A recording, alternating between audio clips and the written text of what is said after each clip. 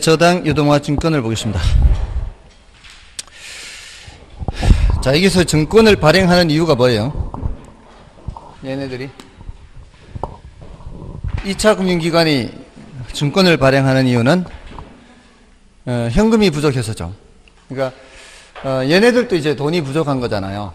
어, 그 돈이 부족한 것을 이제 돈을 마련하기 위해서 증권을 발행하는 거거든요. 아, 이 증권의 수익률만 괜찮다면 투자자들이 살 거라고 했죠. 예, 근데 이제, 어, 돈을 마련하기 위해 발행하는 이 증권은 그냥 증권이라 그러면 좀 복잡한데요. 어, 사실 저도 처음에는 이걸 이해를 못 했죠. 어, 처음에 이거 벌써 20년, 20년 가까이 됐죠. 2000년 이제 막 넘어서면서 이런 내용들이 나왔으니까 예, 그 당시 이제 공부를 할 당시에 도대체 이게 뭔 소린지 진짜 이해를 못했어요. 어, 근데 그때 누군가 저한테 그렇게 설명을 해줬다면 훨씬 더 쉽게 이해를 했을 텐데, 어, 이 2차 금융기관이 돈을 마련하는 것이 우리 가게에서 어, 돈을 마련하는 것하고 원리가 똑같다는 건데, 그거를 이제 설명해 주는 사람이 없으니까. 그러니까 이 가게에서 돈을 마련한다는 것은 갖고 있는, 예, 여러분 가게에 갖고 있는 자산들, 집도 있고 뭐 자동차도 있고 여러 가지 자산이 있잖아요. 그 자산을 근거로 해서 돈을 마련하는 방법은 사실 두 가지밖에 없거든요. 한 가지 방법은 어, 이 자산을 담보로 제공하고 돈을 빌리는 방법하고 또 한 가지는 그 갖고 있는 자산을 파는 방법이에요. 이것도 마찬가지예요, 사실은. 2차 금융기관도 이 증권을 발행할 때 갖고 있는 채권 집합 이거 누구 거예요? 2차 금융기관 거잖아요. 여기서 사왔으니까. 이 채권 집합을 담보로 제공하고 돈을 빌리는 거예요. 그럴 때 발행하는 증권이 있고 이 채권 집합을 투자자들한테 팔아버릴 때, 팔 때 발행하는 증권이 있다는 거죠. 자, 근데 덩치가 워낙 크잖아요. 덩치가 워낙 크니까 한 사람이 다 살 수는 없잖아요. 그러니까 팔더라도 여러 사람한테 공동으로 판매를 하는 거예요. 그러니까 여러분들이 투자자라면 제가 이 2차 금융 기관이라면 여러분들 이걸 여러분이 공동으로 좀 사주세요. 예, 형편되는 대로 돈이 많은 사람은 많이 사주시고 적은 사람은 적게 사주셔도 돼요. 예, 그 예를 들어 이 채권 집합을 나타내는 증서가 만장이다. 이제 팔아버릴 때 만장을 만들었다 치고 어떤 사람은 형편이 안 되면 한 장만 사주시고 형편이 되면은 열 장을 사고 더 형편되면 백 장을 사고 그러면 만장 중에 백 장을 산다 이 소리가 뭐야 증서를? 이 채권 집합에 대해서 1%의 권리를 사는 거죠. 이 여기에 대해서. 그러니까 공유 지분을 갖는다 공유 지분. 여러분들 그 어, 민법에서 공유 주택을 공유할 때 이렇게 지분하는 것처럼 이 자산이라는 것을 어, 여러분들이 공동으로 소유하는 거죠. 그럴 때 발행하는 증서도 있고 요걸 담보로 제공하고 돈을 빌릴 때도 마찬가지. 담보로 제공하는데 예를 들어 뭐 한 천억이다. 엄청난 규모예요. 천억을 담보로 제공하고 돈을 빌리는 거예요. 근데 여러분들이 요걸 이제 담보로 잡는 거잖아요. 요거 믿고 돈을 빌려주는 거죠. 근데 천억을 담보로 잡고 예를 들어 한 700억을 빌려주려고 하는데 한 사람이 700억이 없잖아요. 그러니까 여러 사람들이 자기 형편대로 증서를 사면은 그 증서를 산다는 것이 돈을 빌려주는 것이 되는 거죠. 그 돈을 빌려줄 때 이제 증서를 줘야 될 거 아니에요. 얼마 얼마 빌렸다는 거를. 예, 그렇게 증권을 주는 거죠. 예, 그렇게 이제 예, 대표적인 게 두 가지죠. 그래서 어, 지난 순환까지는 그 두 가지를 했어요. 그래서 MBS의 종류 했잖아요. MBS의 종류. MBS가 이제 저당 담보 증권 이렇게 번역이 되죠. 또는 주택 저당 증권이에요. 주택 저당 증권. 자, 이렇게 이 종류에 자, MBB를 했고요. MPTS 두 가지를 했단 말이에요. 예, 그래서 이제 영어 단어를 이렇게 이제 하는 이유가 사람마다 이게 번역이 달라요. 번역이 달라서 어떤 사람은 이제 securities 어떤 사람은 저당담보증권 또는 주택저당증권 이렇게 하는데 예, 번역이 다르니까 대체로 영문자를 써준단 말이에요. 그러니까 우리는 영문자로 판단하는 게 훨씬 더 어, 이 간편할 수가 있어요. 예, securities라는 단어는 증권이라는 단어거든요. 그래서 S로 끝나는 거는 증권으로 번역이 되는 거예요. 근데 이 securities의 스톡이라는 것, 이게 대표적 주식하고 채권. 스톡이 저량이라는 뜻도 있지만 주식이라는 뜻도 있어요. 근데 우리는 여기서는 이 영어 단어는 알 필요 없고요. 채권이라는 단어, 이거를 알 필요가 있어요. B죠, B. 그래서 끝에 B로 끝나죠. 끝에 B로 끝나면 채권으로 번역되는 거예요. MB는 이거 똑같잖아요. 이제 저당, 담보, 채권 이렇게 되는 거죠. 저당, 담보, 채권. 이렇게 채권으로 끝나요. 에, 근데 이 PT는 왜 pass through죠? pass through, 통과하다 이런 뜻이요. 에, 이체라고 번역이 돼요. S로 끝나잖아요. 증권의 증권. 이체 증권. 에, 이렇게 이제 번역되는 이 두 가지를 했단 말이에요. 그 두 가지 중에 이제 MBB는 어, 좀 전에 제가 어, 돈을 빌릴 때, 요 채권 집합을 담보로 제공하고 돈을 빌릴 때, 그 빌리는 증서로 이제 발행하는 게 MBB요. 채권으로 번역되잖아요. 그 소리는 뭐예요? 제가 발행자로서 여러분한테 MBB 증서를 드린다는 거는 여러분들이 증서를 산 거잖아요. 그는 여러분이 저한테 돈을 빌려준 거다, 이 말이에요. 빌려준 거다.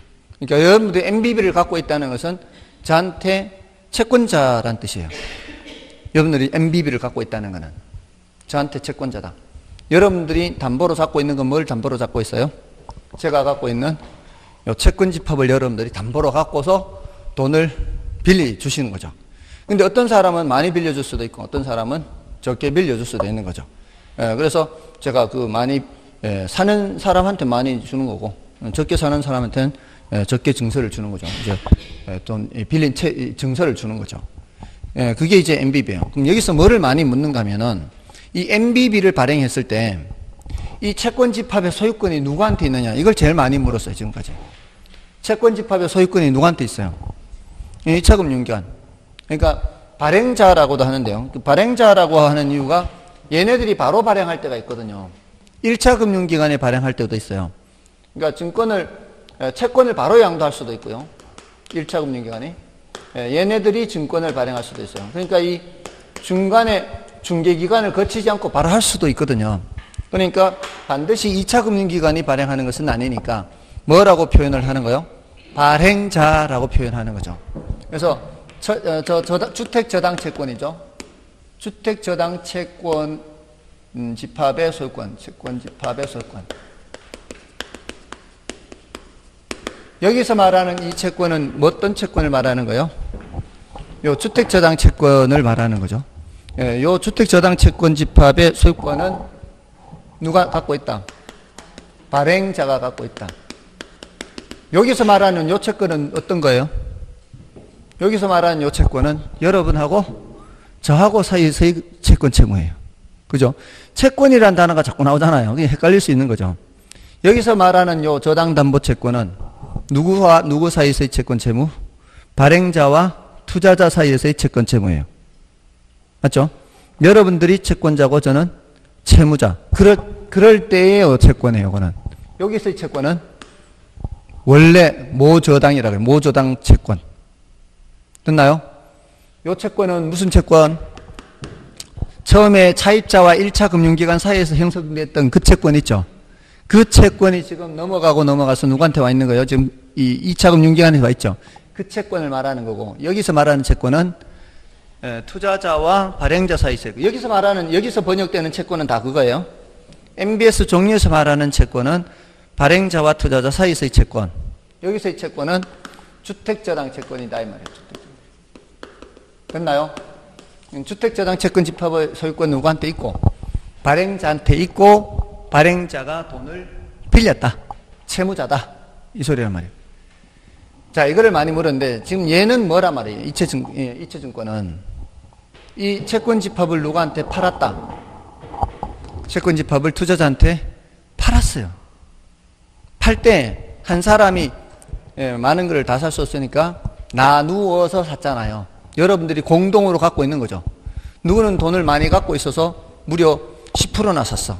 그러면 이 채권 집합에 대해서 10%의 권리를 갖고 있는 거고, 누구는 1% 사고, 누구는 뭐 0.1% 사고, 그, 그 자기가 갖고 있는 비율에 따라 저 채권 집합을 공동으로 소유하는 거예요. 그러니까 이 MPTS는 이 주택자당 채권 집합의 소유권을 누가 갖고 있는 거예요? 투자자. 투자자들이 공동으로 소유하고 있다고. 맞나요? 투자자들이 공동으로 채권 집합을 소유하고 있다는 얘기는 이제 이 채무자죠, 채무자. 원래 여기서 채무자, 채권자였잖아요. 원래, 원래. 이 모조당 채권. 채무자, 채권자였는데 이걸 팔았잖아요. 그러니까 채권 채무가 어떻게 됐어요? 여기가 채무자, 여기가 채권자잖아요. 근데 NPT에서는 이걸 채권집합 팔아버렸죠. 팔아버렸으니까 이게 2차 금융기관의 자산이에요, 자산이 아니에요? 자산이 아니고 여기 넘어갔죠? 그럼 이 채무자들이 누구한테 채권, 채무자예요? 얘네들한테 채무자예요. 그러니까 이 투자자들이 공동으로 여기에 대해서 채권자인 거죠. 이 채, 차입자들이 많잖아요. 그 많은 차입자들에 대해서 이 사람들이 공동으로 여기에 대해서 채권자가 되는 거죠. 됐나요? 이 사람들은 여기에 대해서 채무자가 되는 거죠. 됐나요? 그러니까 중간에 얘네들이 이제 쏙 빠진 거예요. 쏙 빠졌기 때문에 원리금이 상환이 되더라도 어떻게 해요? 여기를 거치기만 할 뿐이에요. 거치기만 하니까 뭐라 그래요? 패스 스루 통과하는 거예요. 그래서 누구한테 쭉 넘어가 버리는 거예요. 투자자한테 쭉 넘어가 버리는 거예요. 최소한의 수수료만 떼고. 그래서 어, 넘어오는 원리금을 나누어 주는 역할은 누가 하는 거예요? 발행자가 하는 거죠. 자기가 발행했으니까. 원리금이 넘어오면 이제 이만큼 들어왔으니까 나눠 가지세요. 이렇게 통장으로 입금해 주면 되는 거죠. 됐나요? 그게 MPTS예요. pass through pass through. 그러니까 채권 집합의 소유권이 발행자한테 있다. MBB. MPTS는 투자자한테 넘어갔다. 자, 근데 권리를 갖는다는 얘기는 위험도 함께 갖고 있다는 뜻이에요. 채무 불이행을 한다. 이 채권. 이 채권에 대해서 채무 불이행하면 누가 채무 불이행하는 거예요? 하나, 둘, 셋, 넷, 네 주체 중에서 이 채권에 대해서 채무 불이행한다면 누가 채무 불이행하는 거예요? 이 채권이 무슨 채권이에요? 주택저당 채권의 채무자가 누구냐고? 차입자. 주택저당 채권의 채무자는 차입자라고요. 예? 그 채, 차입자들이 채무 불이행을 할 때 그 채무 불이행하는 위험을 그 채권 집합을 갖고 있는 쪽에서 부담을 해야 될 거 아니에요. 내가 채권자고 제가 채무자인데 제가 안 갚아. 내가 채권의 소유자야. 그럼 누가 책임져야 돼요? 내가 줘야지. 그럼 내가 어떻게 하든 뭐 담보로 맡긴 저 집을 어, 경매 넘기든 해서 내가 책임져야 될 거 아니에요. 맞나요? 자, 그 소리는 이 소유권을 갖고 있는 쪽에서 위험도 부담한다는 소리는 얘네들이 혹시 안 갚을 수 있어요. MBB 얘기하는 거예요, MBB. MBB의 경우에는 제가 여러분한테 돈을 빌렸죠. 저는 여러분한테는 뭐예요? 채무자예요. 근데 누구한테는 채권자예요? 차입자한테는 채권자죠. 그러니까 얘네들이 돈을 안 갚으면 돈이 안 넘어올 거 아니에요. 돈이 안 넘어오면은 제가 여러분한테 가서 여러분도 받지 마세요. 할 수 있냐 이 말이에요. 그거는 안 된다 이 말이죠. 이거 안 갖고 갖고 하고 이거 하고는 별개의 채권 채무다 이 말이에요. MBB는. 맞나요? 그러니까 얘네들은 안 갚아도 발행자는 갚아야 돼. 맞나요? 에, 그게 바로 MBB란 말이에요. 그게 채무 불이행 위험을 부담한다는 뜻이에요. 근데 MPTS는 어떻게 되겠어요? 다 누구한테 넘겨버렸어요. 투자자한테 넘겼죠. 그럼 여기서 돈이 안 넘어오면은 안 넘겨주면 되는 거지. 넘어오는 돈이 없으니까. 그럼 투자자들이 자기네들이 부담해야 되는 거지. 그러니까 혹시라도 이제 그렇게 되면 이제 차입자들의 담보주택을 경매 처분할 거 아니에요. 경무, 경매 처분에서 그 낙찰가에 따라서 제대로 회수가 될 수도 있고 회수가 안 될 수도 있고 안 되면 안 되는 대로 그냥 넘겨주면 되는 거고 되면 되는 대로 넘겨주면 되는 거죠. 그러니까 그 위험 부담을 누가 한다는 얘기예요. 투자자들이 한다는 얘기죠. 됐나요? 자, 그런 이제 모든 권리 위험이 다 투자자한테 넘어가는 것은 MPTS 모든 권리 위험을 다 앞에서 발행자가 갖고 있으면 MBB 됐나요? 됐죠? 이게 이제 지금까지 했는 거예요. 지금까지 사실은 예, 그건 했는데 또 새롭죠. 들었는, 들어봤는 것 같아요. 처음 듣는 것 같아요. 아, 솔직히. 뭐 그렇게 궁금한 건 아니에요, 사실.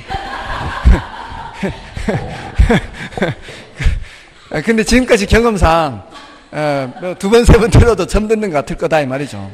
예, 지금까지 한두 번 경험해 봤겠습니까? 자, 근데 이제 조금 더 얘기하면은 이제 이제 원리금 수치권이라는 것도 있어 사실은 원리금 수치권. 예, 원리금 수치권은 이제 조기 상환 위험이에요. 조기 상환 위험. 원리금을 받을 수 있는 권리예요. 그러니까 혹시라도 안 갚는 거에 대해서 어떻게 할 거냐? 또는 요거는 조기 상환하는 거에 대해서 어떻게 할 거냐 이 말이에요. 이제 일찍 갚는 것도 채권자 입장에서는 별로 바람직하지 않다 그랬죠. 채무 불이행이든 조기 상환이든 별로 돈 빌려준 입장에서는 별로 바람직한 건 아니에요. 근데 차입자들이 조기 상환을 했어요. 자, 먼저 MBB부터 얘기할게요. 조기 상환을 해버렸어요. 그럼 한꺼번에 돈이 넘어와 버렸죠. 그랬을 때 2차 금융기관이 MBB 갖고 있는 투자자들한테 가서 당신들도 일찍 먹고 떨어지세요. 이렇게 안 된단 말이에요. 음. 여기서는 조기 상환해도 얘네들은 꼬박꼬박 원리금을 상환해야 돼요. 갖고 있다가. 음, 그러니까 MBB를 갖고 있는 투자자 입장에서는 굉장히 편하죠. 안전하죠. 네, 굉장히 안전해요. 그래서 이거는 수익률이 낮은 편이에요. 근데 MPTS를 갖고 있다면 얘네들이 조기 상환하면 돈이 한꺼번에 넘어오니까 얘네들이 돈을 갖고 있을 이유가 없잖아요. 얘 거니까 이 채권 집합이 넘어오면 넘어오는 대로 그냥 다 넘겨주면 되는 거지. 최소한의 수수료만 떼고 이제 날 나눠 가져가세요. 일찍 넘어왔네요. 일찍 다 갖고 가세요. 이렇게 됐나요?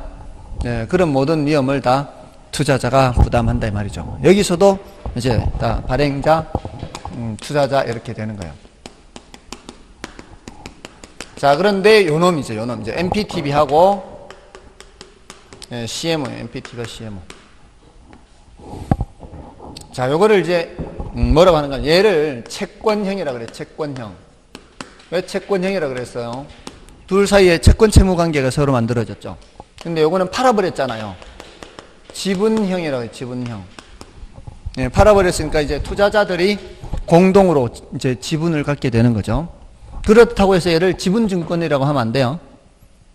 지분이라고 하더라도 원금이자에 대한 지분을 갖고 있는 것이지 수익을 낸 배당을 받는 것은 아니에요. 결국 원금이자 받는 거거든요. 넘어오는 게. 예, 그래서 이, 이 MBS는 전부 다 부채증권이에요. 부채증권. 지분형인데 부채증권으로서 지분형이란 말이에요. 자, 근데 얘네들은 혼합형이라 그래요. 예, 혼합형. 다 혼합형이에요. 혼합형이라는 얘기는 두 개의 성격이 섞여 있다는 얘기잖아요. 에, 그래서 이제 기본적으로는 채권 집합의 소유권은 발행자가 가져요.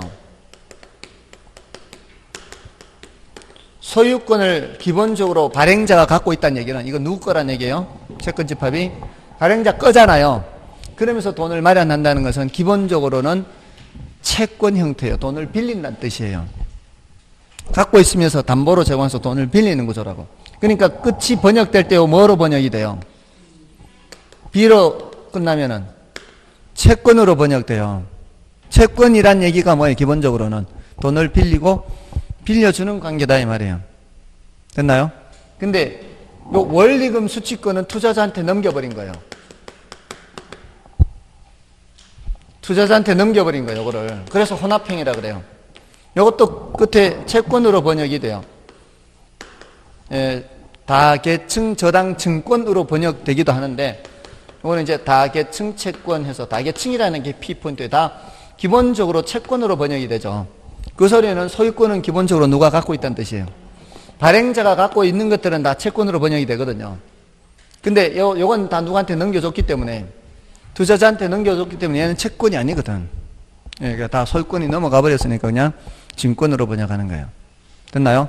근데 다만 이걸 혼합형이라고 하는 이유는 원리금 수취권은 예, 투자자에게 넘겨줬기 때문에. 근데 감정평가사 시험에서는 이걸 채권형이다 이렇게 출제도 했어요. 다 뭐로 번역되니까? 예, 채권으로 번역되니까. 기본적으로는 채권형인데 혼합형이라고 하는 이유가 이제 원리금 수취권을 예, 이, 이 넘겨줬기 때문에 투자자한테. 그러니까 이 소리는 뭔 소리예요?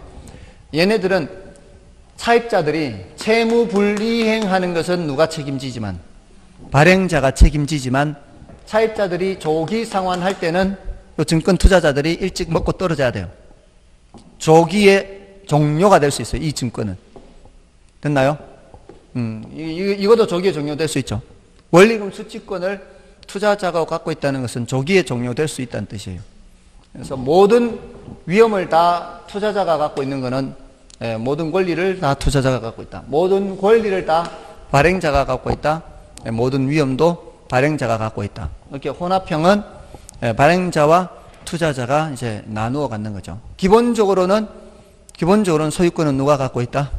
발행자가 갖고 있다. 그건 기본적으로는 채권의 형태이기 때문에 그런 거예요. 됐나요? 자, 이런 거를 이제 주로 질문을 했어요. 요 두 가지. 예, 채권형이냐, 지분형이냐, 또는 혼합형이냐, 예, 소유권은 누가 갖고 있느냐. 요걸 이제 주로 질문을 했는데, 자, 여기 이제 조금 이제 더 들어가면은, 예, 이게 수익률이 어떻다 그랬어요? 여기 수익률이 낮다 그랬죠. 근데 요거는 수익률이 높겠죠. 모든 위험을 이제 예, 투자자들이 부담하는 만큼 최소한의 수수료만 떼고 다 이제 넘겨주니까. 근데 얘네들은 중간이라고 볼 수 있겠죠. 근데 이거는 별로 중요하지는 않고요. 일률적으로 얘기할 수가 없는 게 CMO라고 이제 다계층이라고 돼 있죠. 다계층이라고 돼 있는 요거는 여러 개의 트렌치로 돼 있어요. 만기가 다양하게. 이걸 트렌치라고 하는데 만기가 1년짜리도 있고 3년짜리도 있고 5년짜리, 7년짜리, 10년짜리 여러 개로 되어 있어요. 10년보다 더 되는 것도 있고요. 얘네들은 이 위에 것들은 한 번 발행을 하면은 만기가 10년이면 10년 요 한 가지밖에 없어요. 만기가. 만기가 한 가지밖에 없으니까 자기가 사고 싶은 그 종류에 따라 발행이 안 되면은 발행될 때까지 기다려야 돼. 나는 3년짜리 사고 싶어. 나는 5년짜리 사고 싶어. 이런 사람들 있을 거 아니에요. 근데 얘네들은 만기가 한 종류밖에 없으니까 예, 매번 발행할 때마다 이게 자기가 원하는 예, 그런 증권이 없을 수 있어요. 근데 이거는 발행할 때마다 매번 발행할 때마다 만기가 다양하게 하니까 뭐 나는 장기 증권을 사고 싶으면 장기 증권 사고 나는 예, 단기 증권 사면 단기 이렇게 예, 구색을 갖추는 거죠. 그러니까 똑같이 천억을 담보로 제공한 담보로 발행한다 하더라도 요거 100억 어치, 요거 200억 어치, 또 요거 100억 어치 이런 식으로 이제 발행하는 거죠. 그럼 자기 사고 싶은 거 사면 되는 거죠. 예, 그리고 원리금이 지불되는 순서가 달라요. 원금 상환이 달라요. 여기가 제일 먼저 이제 만기가 1년짜리는 제일 먼저 원리금을 받아요. 처음부터. 얘네들은 이자만 받는 거예요. 얘가 다 상환이 될 때까지는. 얘네들은 이자만 받는 거예요. 얘는 이자도 안 받아요. 쌓여가는 거지, 이자가. 1년이 끝났죠? 1년이 끝났으면 이제 종료됐잖아요. 그러면 1년 지난 다음 달부터는 예, 여기가 이제 예, 받는 거죠. 여기가 이제 원리금을 받는 거예요. 원리금. 원금이 잘 다 같이 받는 거예요. 그러면 이제 또 얘가 끝나면 그 다음은 그 다음 여기. 계속 얘네들은 이자만 받는 거예요. 계속. 얘는 계속 이자도 받지 않아요. 그래서 원금 상환은 순차적으로 이루어져. 계속 이자만 받다가. 얘는 계속 이자는 쌓여가는 거고. 얘를 Z 트렌치라 그래요. Z 트렌치. 자, 그리고 이게 우선순위가 여기 붙어 있어요. 우선순위가. 우선순위가. 예를 들어 중간에 만약에 사고가 터졌어. 사고가 터져서 회수되는 돈이 많지 않아. 그러면 누구부터 받는 거예요? 얘부터 받는 거예요. 얘부터. 얘부터. 끊이수고. 그럼 만기가 뒤로 가면 뒤로 갈수록 위험도가 높아요. 이 선순위 증권이고 후순위 증권이에요. 그 저당으로 치면 1저당, 2저당하고 똑같아요. 얘네들이 충분히 회수가 안 되면 얘는 종이 쪽지 되는 거죠. 리먼 브로더스가 여기, 투자했단 말이에요. 이자도 못 받았는데 예, 다 날아가는 거죠. 음, 아무튼 어, 여기서 어, 이 위험이 뒤로 가 뒤로 갈수 위험이 높기 때문에 수익률이 어때요? 수익률은 대신 높죠. 그러니까 일률적으로 얘기를 못 한다 수익률이. 예, 뒤로 가면 뒤로 갈수록 수익률이 높고 앞은 수익률이 낮고 됐나요? 안전한 만큼 됐습니까? 자, 이런 구조로 되어 있는 게 다 계층 채권이에요. 예, 우리나라에서도 이렇게 많이 해요. 우리나라도. 우리나라도 이렇게 많이 예, 합니다. 예, 다 계층 채권처럼 이렇게 만기가 다양하게. 됐나요? 자, 여기서 이제 난이도 높은 거 한 개만 하고요. 나머지는 이제 너무 난이도가 높은데요. 일단 초과담보라는 말을 보세요. 초과담보. 콜방어라는 것도 있는데요. 요거는 이제 출제된 지 한 10, 15년 됐고요. 얘는 중요도는 낮아요. 난이도 높고 일단은 이걸 무시하고 일단 콜방어는 초과 담보라는 단어가 나오면 이렇게 생각하면 돼요. 우리가 돈을 빌릴 때 1억을 담보로 제공하면 1억 빌릴 수 있나요? 못 빌리잖아요. 1억 담보로 제공하고 7천만 원을 빌리면은 3천만 원이 초과 담보가 돼요. 6천만 원을 대출받으면 4천만 원이 초과 담보죠. 자, 초과 담보가 많이 설정되어 있어야 빌려주는 사람 입장에서는 안전하겠죠. 그러면은 초과 담보라는 말이 나오는 거는 돈을 빌리고 빌려주는 관계에서 나오는 말이죠. 이걸 팔아버리는 거는 초과 담보라는 말이 있을 필요 있어요, 없어요? 어, 있을 필요가 없어요. 근데 제일 안전한 게 누구예요? MBB가 안전하잖아요. 그 안전하다는 건 그만큼 초과 담보액이 많이 설정돼 있다는 얘기예요. 이게 초과 담보가 많다는 거죠, 얘는. 얘는 초과 담보가 있어요, 없어요? 없어요. 얘네들은 조금 있어야 되겠죠. 예, 위험을 이제 나눠 부담하는 만큼 많을 필요는 없고 조금 있어야 돼. 그리고 채권이라는 것 때문에 기본적으로는 담보액이 있어야 되죠. 됐나요? 음, 그런 구조예요. 자, 이 정도면은 지금까지 최근 10년간 출제된 거는 다 맞출 수 있어요. 이와 관련되는 거는. 정신만 바짝 차리고 채권 집합이 누구한테 있느냐, 누구한테 있지 않느냐 이런 것만 구별할 수 있으면 된다 이 말이에요. 아시겠죠? 자, 이제 교재를 좀 체크해 볼게요. 자, 교재에서 346쪽에 저당담보증권의 개념 보세요. 저당담보증권이란 저당대출기관, 저당회사, 기타 기관 투자자들이 자신들이 설정하거나 사들인 저당을 담보로 해서 발행하는 새로운 형태의 증권을 말한다. 주택저당증권이라고도 한다. 자, 이거는 에, 발행자가 얘가 될 수도 있고요. 얘가 될 수도 있어요. 에, 반드시 2차금 연기관만 발행하는 게 아니고요. 외국에서는 이 발행을 전문으로 하는 회사도 있어요. 그러니까 에, 일률적으로 얘기할 수는 없고요. 에, 다음에 에, 그 니은 어, 니은 뭐 디귿은 여러분이 뭐 봐주시면 되겠고요. 어, 다음에 그 동그라미 2번 그 발행도 이제 여러분이 봐주시고요. 오른쪽에 이제 MBS의 종류로 가서 MBB부터 보시면 되겠습니다. 자, MBB는 A를 볼게요. 에, MBB는 투자자에게 이전되거나 이체되는 권리 없이 투자자에게는 이전되거나 이체되는 권리 없죠. 발행기관 자신이 발행한 채권을 투자자에게 매각하는 방식이다. 이 소리가 뭔 소리요?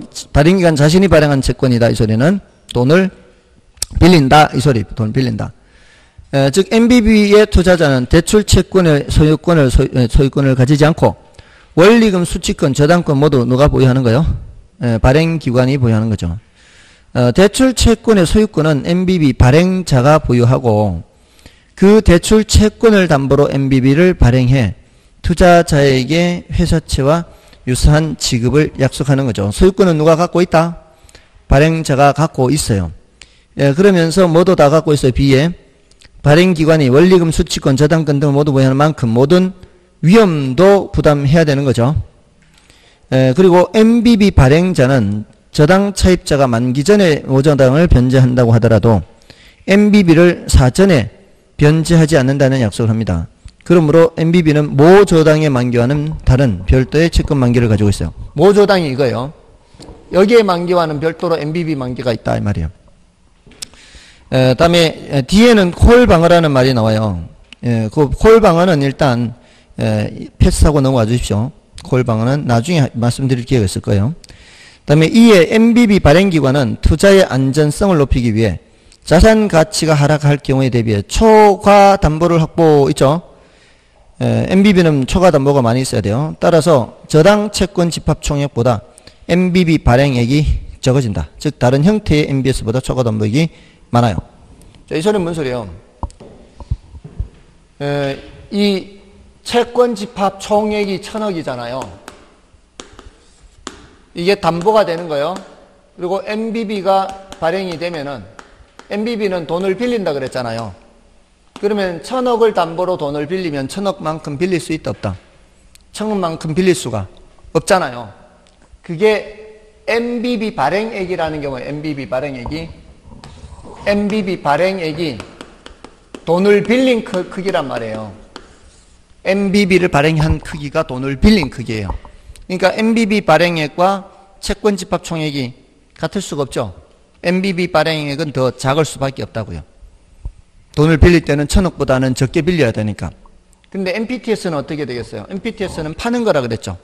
그럼 MPTS의 발행액과 채권 집합 총액은 어떻게 되겠어요? 똑같아야 돼요. 천억짜리 팔 때는 천억 받아야 되니까. MPTS 발행액은 채권 집합 총액하고 똑같지만 MBB 발행액은 채권 집합 총액보다는 작아야 된다. 됐나요? 예, 그래야 이제 여러분들이 안심하고 돈을 빌려줄 거 아니에요. 돈을 빌릴 때는. 됐나요? 자, 그런 얘기고요. MPTS는 보세요. 예, MPTS, 그, 어, 어, F는 뭔가 하면 참, F는 그 키워드가 지금 모저당의 차입자와 투자자 간의 현금 흐름이 연결되지 않는다. 이거거든요. 여기서부터 여기까지 넘어가는 현금 흐름이 연결되지 않는다는 거예요. 왜 그러겠어요? MBB의 경우는. 여기서 조기 상환을 해도, 여기 보세요. 여기서 조기 상환을 해도 돈이 한꺼번에 넘어가요? 안 넘어가요? 안 넘어가고 얘는 꼬박꼬박 갚아야 돼. 많은 돈이 넘어와도 여기서는 일정하게 넘어가야 돼. 그리고 여기서 돈이 안 넘어와도 여기서는 돈이 넘어가야 돼. 그러니까 혀, 여기서부터 현금 흐름이 여기까지 연결이 안 되는 거예요. MBB는. 근데 MBTS는 어때요? 여기서 조기 상환 해버리면 여기도 조기 상환 해버리는 거고 여기서 돈이 안 넘어오면 여기도 돈이 안 넘어가는 거죠. 그러니까 MPT에서는 쭉 끝까지 패스트루 하면서 현금 흐름이 연결된다라고 얘기하고 pass through pass through 하면서 MBB는 연결되지 않는다 이렇게 표현하는 거예요. 어, 다음에 이제 MPTS란 밑에 저당 차입자가 지불하는 저당 지불액이 증권 발행자를 통하여 MPTS 투자자에게 이체된다. 바로 이체되는 거죠. 에, 즉 주택 저당 채권을 집합하고 이를 기초로 발행한 증권으로서 주택저당 채권 집합을 투자자에게 뭐 한다? 매각하는 거 매각. 그래서 MPT에서는 주택저당 채권 집합으로부터 발생하는 원리금 수취권과 주택저당권에 대한 지분권을 모두 원리금 수취권 지분권 모두 투자자에게 매각하는 방식이요. 그래서 MPTS 발행기관이 자신의 자산을 매각하는 것이므로 MPTS 발행액만큼 MPTS 발행자의 주택저당 채권 집합은 감소합니다. 천억 발행하면은 천억만큼 감소하는 거죠. 채권 집합이. 예, 그러면서 이제 현금 자산이 증가하므로 주택저당 채권 집합의 총액과 MPTS 발행액이 같아지는 거죠. MBB와 달리 초과 담보액이 없는 거죠. 자, 그럼 됐고요. 넘어가셔서 이제 C는 이제 모든 권리와 위험을 다 에, 투자자가 부담하게 된다는 것이 있고요. C. 그다음에 에, D는 이제 에, 여러분들이 읽어보시면 되겠네요. D하고 E하고.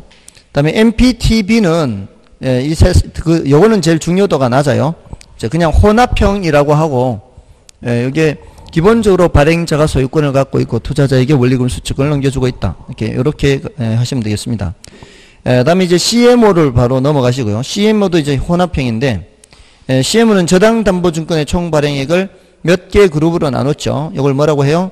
트렌치라고 한다고 그랬죠. 각 그룹마다 서로 상이한 이자율과 원금이 지급되는 순서를 다르게 정하는 것이에요.